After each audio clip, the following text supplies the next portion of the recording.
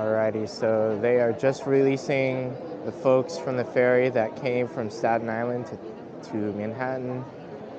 Now, uh, as soon as they get off, they're going to let us board.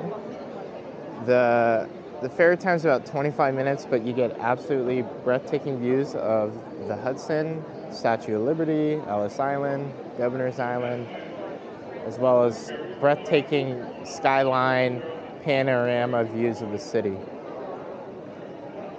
Um, a lot of folks that are tourists will sometimes just like take the ferry over there and then immediately take it back. That's kind of part of the experience.